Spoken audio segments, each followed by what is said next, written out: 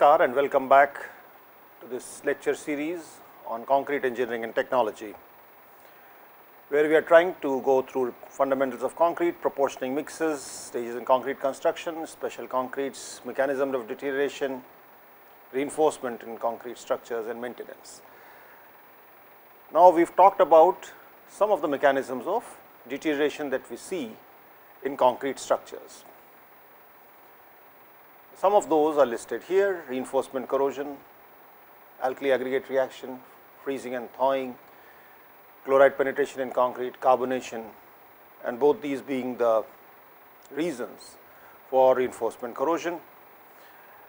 Now, as far as reinforcement corrosion is concerned, we have studied that corrosion basically involves the conversion of iron to its oxides and hydroxides in the presence of oxygen and water.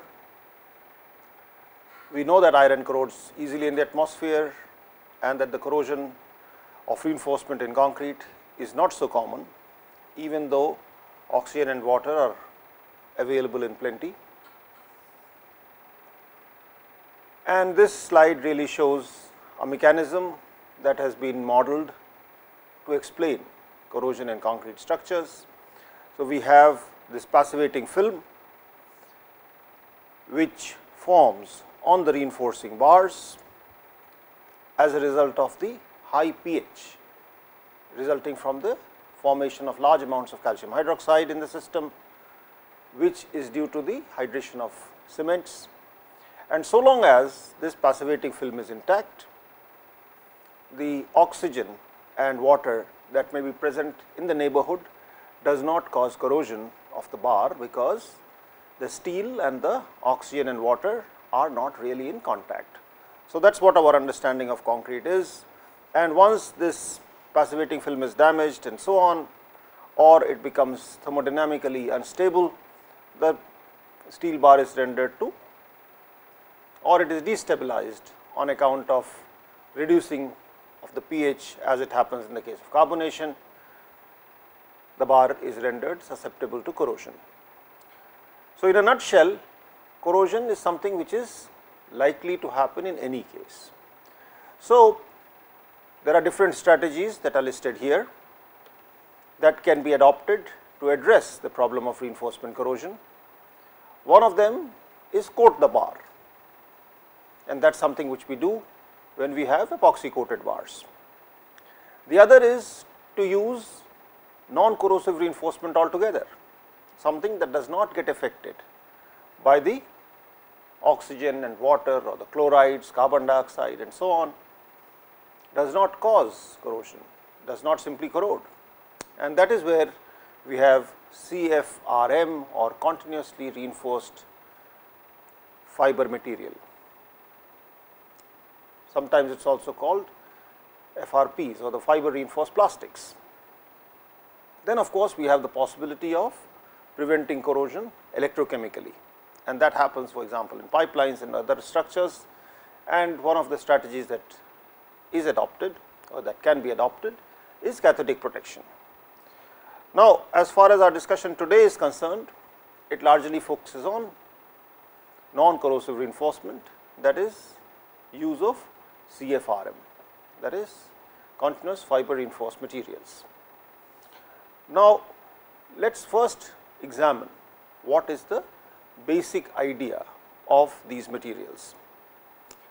As far as applications is concerned, it was the age old Egyptians and other ancient civilizations where they used stray in clay construction and that probably can be seen as the first use of fibers as far as construction materials is concerned. Of course, now they are used extensively in the in the aerospace industry, sporting goods, automotive industry and beginning to be used now in the construction industry and concrete. This picture shows a very simplified example of CFRM or continuous fiber reinforced material. What we have is these small fibers which are embedded in a matrix and depending on what is the fiber, what is the matrix, what is the amount of fiber and so on, we have different properties that can be used to our advantage as far as a construction material is concerned.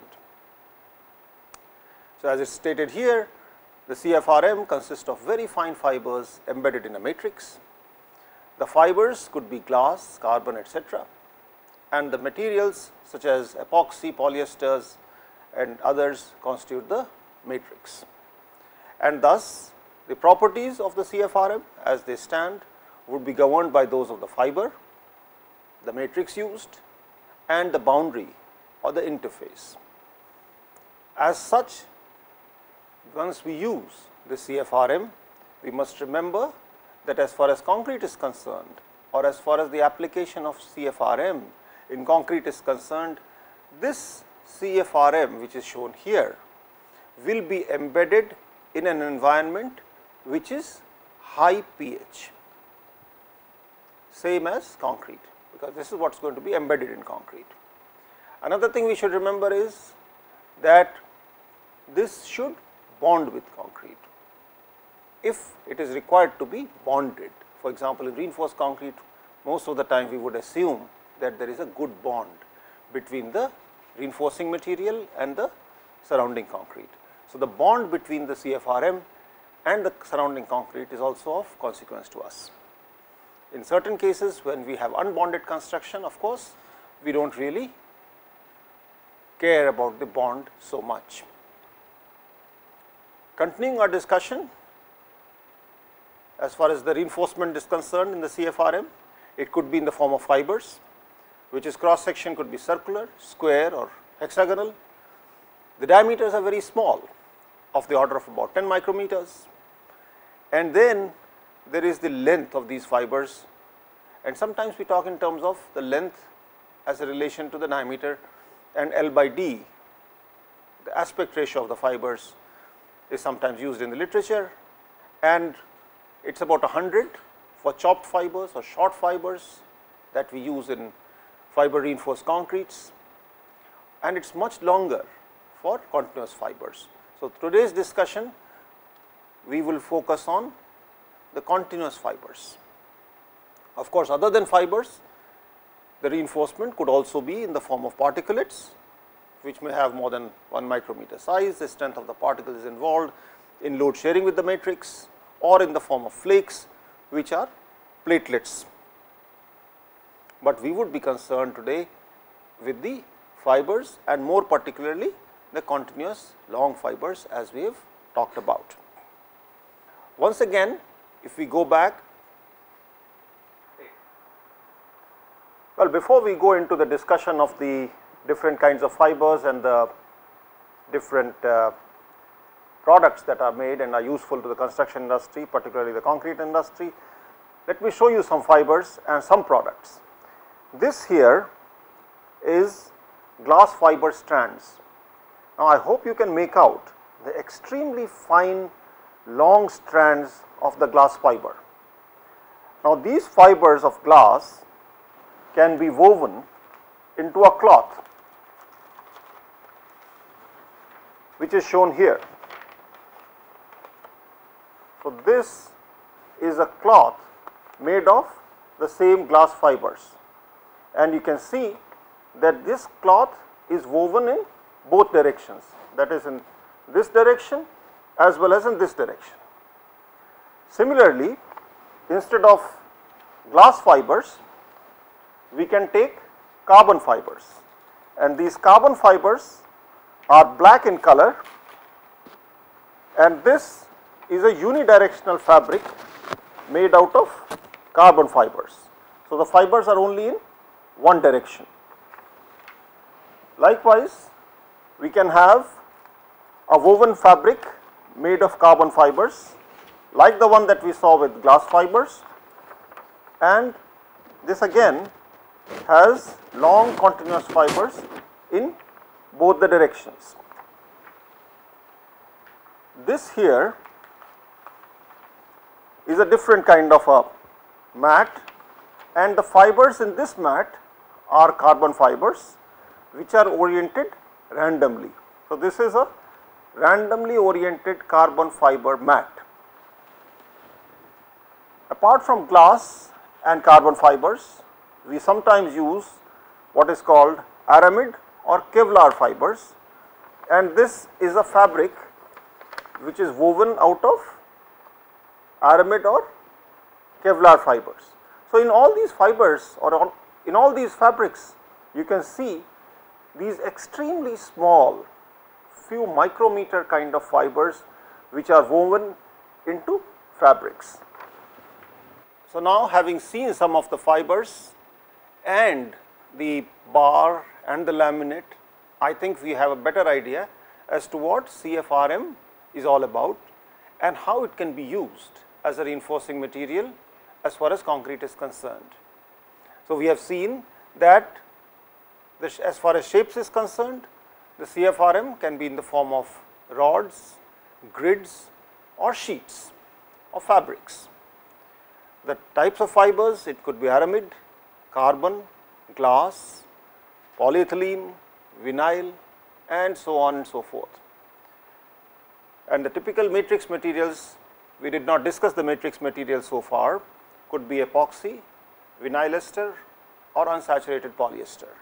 The bottom line remaining that the CFRM basically has this structure that is very fine fibers embedded in a matrix and finally giving a product which is of this nature which could be a rod or it could be a flat or a laminate or a fabric. Now, the most interesting part of the CFRM is that the volume of fibers can be varied. Now, if we vary the volume of these fibers here, we can vary the properties of the material. Putting it the other way around, if we want a certain property in the fiber reinforced material or we want a certain property in the CFRM, we can design the CFRM by changing the volume of fibers apart from of course the material of the fibers and so on. So, that gives us a lot of flexibility as far as the design and the construction of CFRM is concerned, as far as the application of CFRM in the construction industry is concerned and as far as rods is concerned, the normal volume of fibers is about 50 to 60 percent, grids it is about 25 to 30 percent and in sheet it varies depending on the number of layers which are used at site. So, as we can see for example, in the case of sheets or fabrics, they can be used in several layers and if they are used in several layers obviously the volume content would depend on the number of sheets. So, this flexibility that we get of varying the fiber volume gives us a large advantage as far as the use of CFRM is concerned in concrete construction. So, let us continue our discussion and try to see what are the forms that are possible. These are the fine fibers of glass, carbon or aramid that we have already seen. These are some of the pictures of the different forms. They are available in grids like this, they are also available in 3D formats like this or a grid something which is like shown here and bars which are shown in this picture here. You may like to also notice that because in reinforced concrete construction we need to have the bond between the reinforcing material and the surrounding concrete. Some of these rods have specially designed ribs on the surface to increase the bond much like we have in the case of reinforcing steel. In the case of flats or strips of course, we may not have those bonds because the purpose of using them in concrete would be quite different. Now, to summarize FRPs are available in different shapes some of which are shown in the previous slides. They include rods and flats which may have one dimensional reinforcement, grids which use fibers in two dimensions and they are used in structural elements such as walls and so on. Though three dimensional elements are also available, their transportation poses a problem and they are rarely used. This here are pictures of one way or two way reinforced fabrics or sheets made of FRP that is fiber reinforced plastics that is just another name for the continuously reinforced fiber material that is CFRM. Now, the basic properties of the CFRM are or can be summarized as given here they are non corrosive and therefore, they can be used in places where normal steel is susceptible to corrosion and deterioration and we cannot expect or we cannot allow that corrosion because of the criticality of the structure or for any other reason. They are much lighter, they are much lighter to steel having a specific gravity of about 1.3 to 2.7 and the specific gravity of steel we know is about 7.8. So, that makes it about one fourth or maybe even less sometimes of steel. They have high tensile strength and with the higher tensile strength than steel, they become very useful for being applied as tendons in pre-stressed concrete constructions. In some other applications, we use the fact that the FRPs are non-magnetic in nature. So, in examples like uh, this property is useful in places such as MRI chambers and so on, where we do not want magnetic materials in the neighborhood of a certain equipment. Sometimes we also use their properties against microwaves. So, we have these special applications for use of CFRM in normal civil engineering construction using concrete. And this slide is again just a recapitulation of what we have done. The composites are synthetic assembly of two or more constituents comprising of the fiber phase which is the reinforcement and the matrix. They having the advantage of being corrosion resistant, high strength and stiffness, high strength to weight ratio and it, the material can be designed in, order, in addition to the structure. So, it is the, we are familiar with the concept of structural design, but the use of CFRM gives us the flexibility of actually designing the material itself by varying the fiber content and the material. Now, let us take a look at some of the fibers and the matrices and their properties. As far as aramid is concerned, it is a high performance replacement for glass fibers. Examples could be in armor, protective clothing, industrial and sporting goods. It has the advantage of high strength and the fact that it is lighter than glass, is more ductile than carbon. Coming to carbon fibers, it is the second most widely used fiber used extensively in the aerospace, sporting goods and the construction industry with the advantages being high stiffness and strength, low density, intermediate cost and has standard modulus of about 207 to 240 GPa, intermediate modulus 240 to 340 GPa and high modulus 340 to 960 GPa. So, basically carbon fiber gives us the flexibility of choosing one or the other depending on what the stiffness we want. The diameters is about 5 to 8 micron which is smaller than human hair. Continuing with our discussion on fibers or carbon fibers, they vary in strength with processing and there is a trade off between strength and the modulus of elasticity. For the intermediate modulus carbon fibers, we have the PAN or the polyacrylonitrile fibers.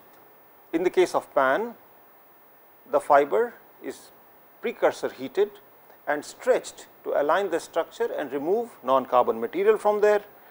And it, in the case of high modulus material, it is made from petroleum pitch precursors at low cost and pyrolysis method is the one that is used. It has a much lower strength, but high in modulus. So, that is what we talk of when we talk of the trade off between strength and modulus. As far as glass fibers are concerned, they are most widely used fibers used in piping, tanks, boats and sporting goods and have the advantage of low cost, corrosion resistant, low cost compared to other composites, but it has the disadvantage that they are relatively low strength, have a high elongation and have only moderate strength and weight. We have E glass and S glass fibers and they have slightly different properties and one has to choose the fiber depending on the application that we have. As far as other fibers are concerned than glass, carbon or aramid, we have boron fibers which are high stiffness, but very high cost.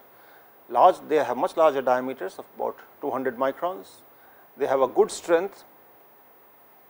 Then we have of course, polyethylene fibers which are used from the textile industry, have high strength, very lightweight, but they have the disadvantage as far as we are concerned in construction that the range of temperature over which they can be used is quite small.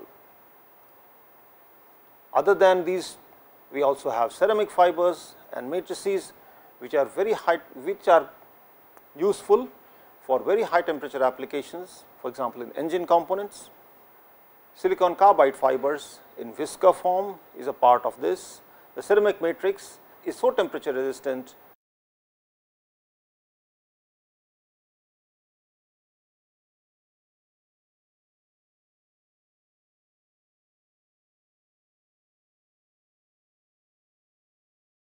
One must remember however, that fibers alone rarely used.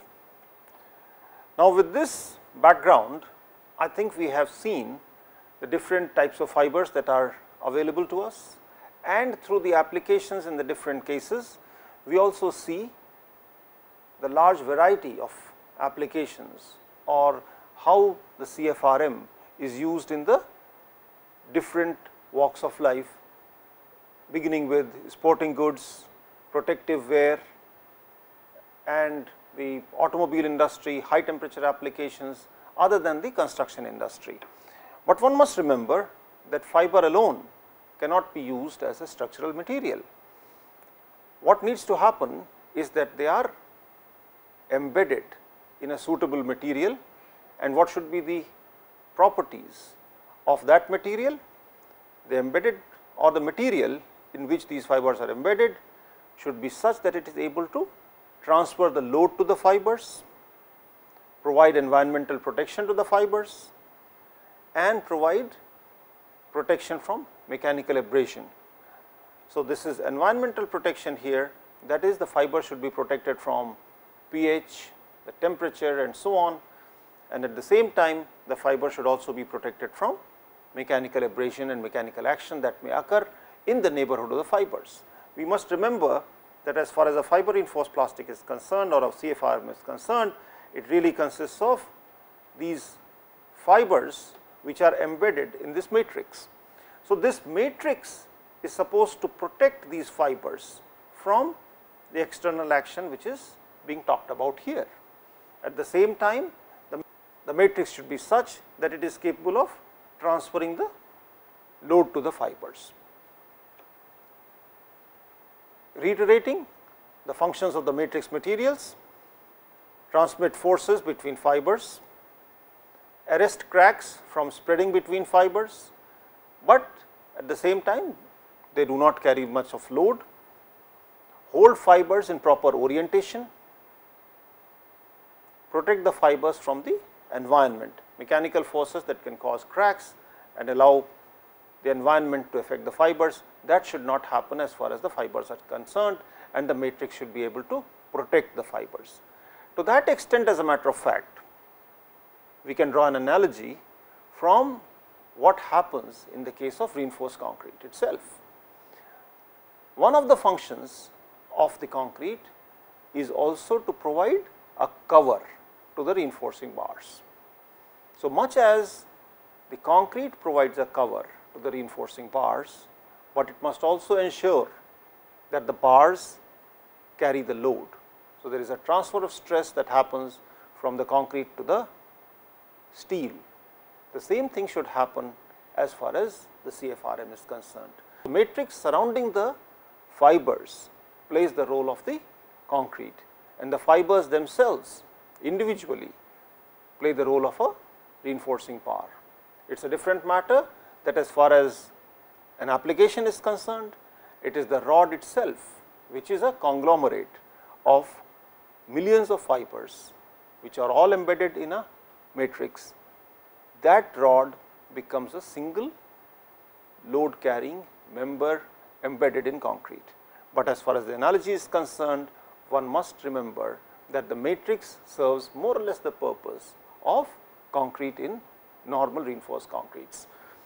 So, now continuing with our discussion as far as matrix materials is concerned, the demands on the matrix are interlaminar shear strength, toughness, durability in terms of moisture and environmental pH resistance, because the matrix itself also needs to be durable. If the matrix is not durable, sooner or later the fibers will get exposed and that is precisely what we do not want. And therefore, durability of the matrix material is of utmost importance when we are designing a CFRM. It should have the required thermal properties. It should be stable in the range of temperatures that we expect the material to be used. Of course, it should be cost effective. In fact, some of these properties are so important that one must remember these properties when we are designing tests for ensuring durability and structural action as far as CFRM is concerned. In the case of concrete applications, if we do not want or do not expect concrete to be exposed to very high temperatures, then thermal properties have a certain importance or a certain degree of importance. But in cases where we expect the CFRM even if it is embedded in concrete, it is likely to be exposed to high temperatures, then it has to be tested accordingly. The same is the case with moisture or the pH and so on and so forth. Now, coming to the different matrices or the different materials for matrices. For example, there are polymeric, for example, there are polymeric materials which are thermosets, they cure by a chemical reaction which is irreversible in nature and the examples of this are polyester or vinyl ester and they are the most common low cost solvent resistant matrices. There can also be epoxy resins which have a superior performance, but are relatively costly. Similarly, there are thermoplastics which are formed by heating to elevated temperatures at which the softening occurs and this reaction is reversible and they can be reformed and or repaired, but that is not very common. But then that also limits the range of temperatures up to which they can be used, because after that they soften. The examples for this could include polypropylene with nylon or glass. They can be injected and are inexpensive. They soften layers of combined fiber and resin and place in a mold and that is higher cost. Then of course, there are other matrices such as metal matrix composites which are good for high temperature applications, aluminum with boron or carbon fibers. There are ceramic matrix materials which are very high temperature resistant and these fibers used to add toughness and not necessarily higher in strength and stiffness. And now with this we have prepared the background for a discussion on the properties of the CFRM. And before we close the discussion today, I would like to acknowledge the support or the permission from the JSCE to use some of the material which we have based on JSCE publications. And I would also like to acknowledge with thanks the permission of my friends and colleagues, Professor Uomoto, who is the Chief Executive of the Public Works Research Institute and formerly Professor of the Department of Civil Engineering, University of Tokyo, Professor Kato of the ISC, University of Tokyo and Dr. K. K. Bajpai of the Department of Civil Engineering at IIT Kanpur, who have kindly agreed that I may modify and use some of their slides and other materials for today's presentation. And some of the material that I used here today is adapted from an earlier publication of ours in the ASC journal. So, with these acknowledgements, let us come to some of the points that we can ponder over before the next discussion. One can study the applications of CFRM in other industries such as automobile, aviation, sport, protective personal gear and so on. Study the manufacturing process of the CFRM, how the CFRM is manufactured beginning with the manufacture of the fibers in the first place and then how these fibers are made into the CFRM that is the reinforced materials that is including the matrix and what is the cost difference or what is the cost of the different CFRM variants available in the market.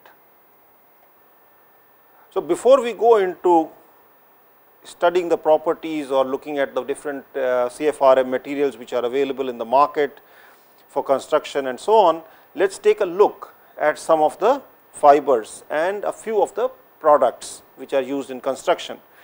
So, here is the strand of the continuous glass fiber. So, we can see that these are extremely fine fibers which are all woven into a single which could be woven into a single strand and this strand can be embedded in a matrix to give you a fiber reinforced product made from glass fibers.